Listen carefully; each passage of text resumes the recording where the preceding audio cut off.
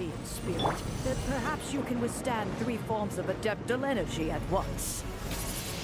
This will hurt a little. Please bear with us. Once you've adapted, try to use them in battle.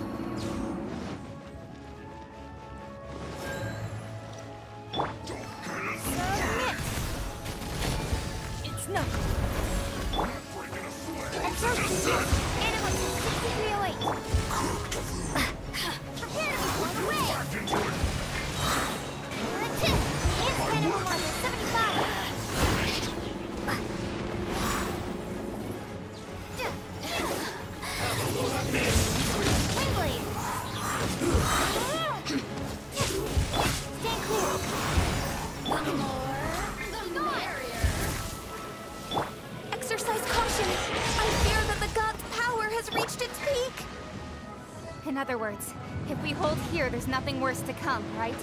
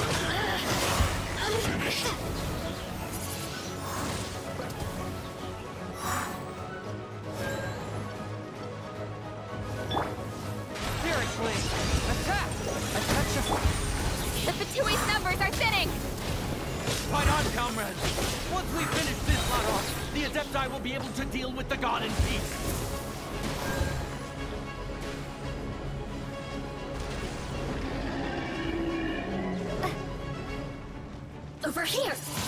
Look at me. Just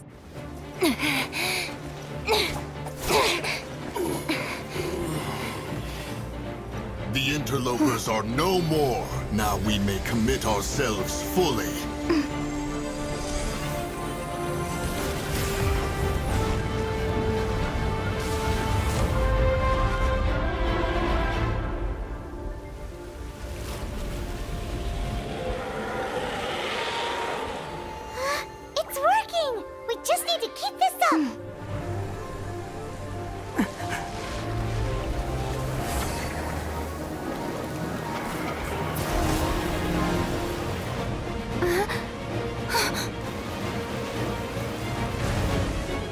Yeah.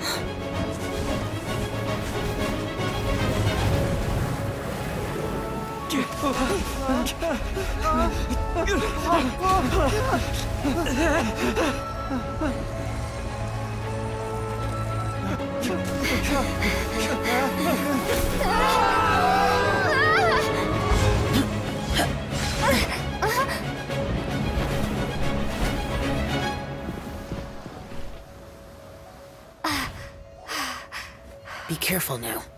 The Guizhong Ballista is destroyed. Without its covering fire, retaliation shall be difficult. But the Jade Chamber is our last line of defense. We can't give another inch, no matter what. I have another idea.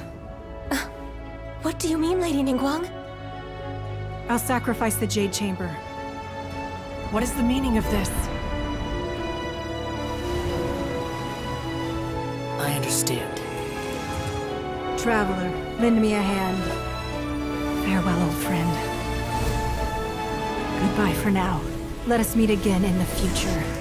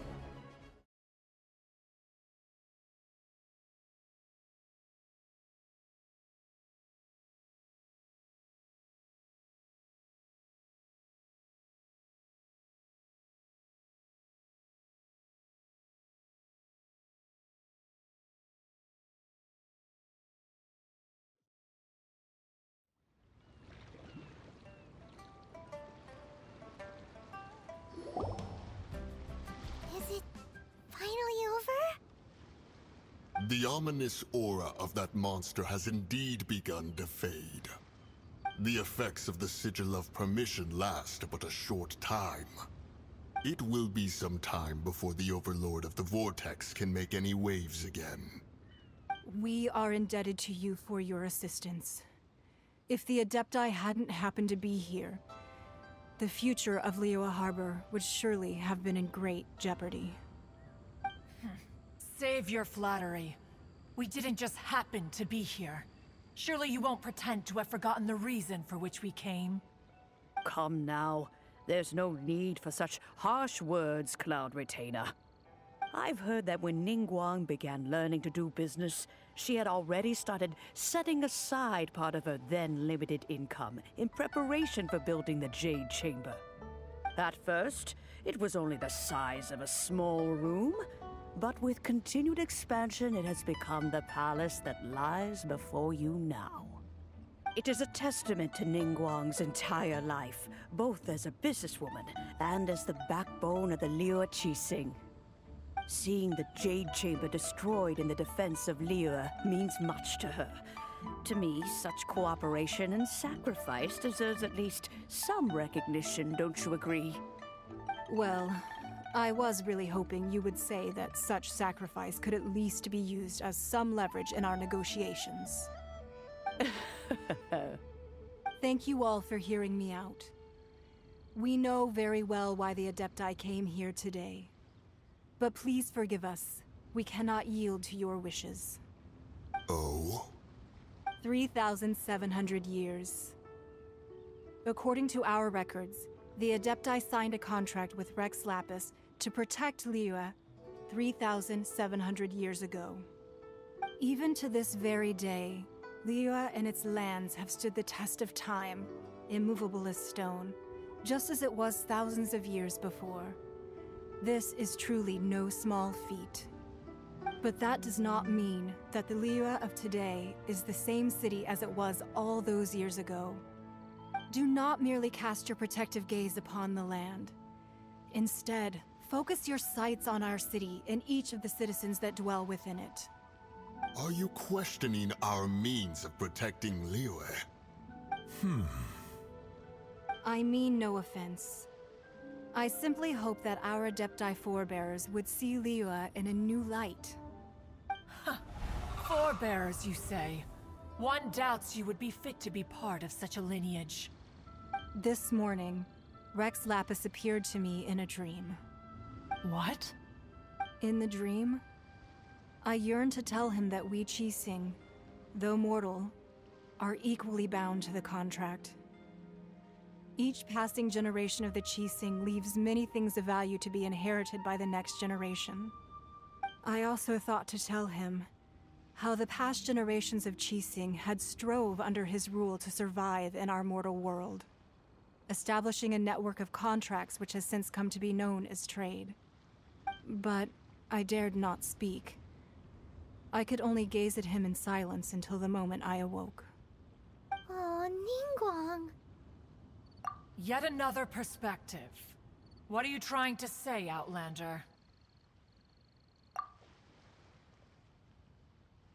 Right! That's something that happened in Mondstadt. It's a story about the Four Winds and the people of the Anemo Archon. The Anemo Archon sought to quell the strife between the two sides because he believed that such conflict would only scar the hearts of both, and that nothing good would come of it. Each of the seven nations has its own scars from the past. Though your point is the very height of simplicity. As Adepti, we've become a laughing stock, to be chastised thus by an outlander who has lent us such succor. All right, all right. Didn't Ningguang suggest that we should focus on the city and each of its citizens? I know I already have, so why not see for yourselves? I apologize for appearing in full armor. I am afraid I cannot show the proper courtesies. And who are you? I am Feng Yan, a sergeant of the Millelith. I have come to extend my thanks to the Adepti. I thought this battle would perhaps be my last. But thanks to the aid of the Adepti, our forces were not as badly battered as I feared we might be. Although I am a mere mortal soldier, I promise to hold the line and never betray the grace given to us by the illuminated Adepti this day. Hmm. Huh? Why does everyone look so down? Didn't we just beat that big monster? Weren't you frightened, dear? It was quite the predicament. I wasn't afraid. All the strong Millelith guards were there, and those powerful heroes with their visions were there. Everyone was there. When danger is near, everyone always protects me. And the rest of the time, they make fun toys and tasty snacks and and loads of things that make the harbor so pretty. Thanks for protecting Liyue Harbor. Please come visit us for the next lantern rite. Unfortunately, we wouldn't be able to participate. Huh? Because we are Adepti. Oh, okay. It must be hard being an Adeptus. Aww. You see, this is what Liyue is like today. The country of contracts is grateful to the Adepti for their protection. But it is no longer necessary for the city to rely on the Adepti's power to solve every little niggling matter. Although their blood is weak, there is still strength to be found in those we call mortals. The time of contracts between gods and Liyue has long since passed. Now is the time of contracts between Liyue and its people. Hmm. Seeing the port around us now, it is hard not to feel a bit out of place. Wouldn't you say so, Cloud Retainer? Your line of inquiry is askew. One did not spearhead this expedition to Liyue Harbor. Hmm. Seems like the Adepti have had a change of heart. Let us return now. Eager to leave, Conqueror of Demons. yes, one understands what the Conqueror of Demons means. The city of Liyue has changed much after our long separation. One fears that by the time one finally grasps the new contracts of Liyue, you humans would have once again changed the place beyond recognition. Fair enough. Away we shall, and return whence we came.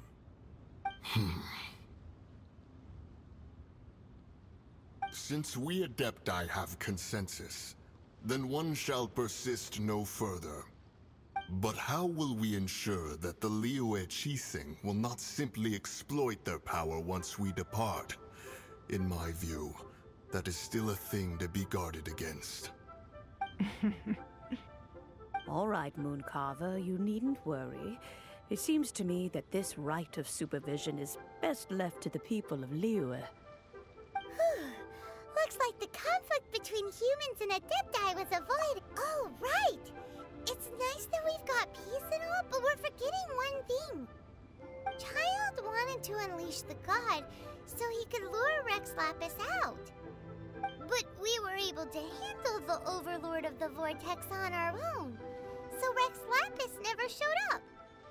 Oh, and speaking of that, don't we still need to get to the bottom of that Archon's death, too?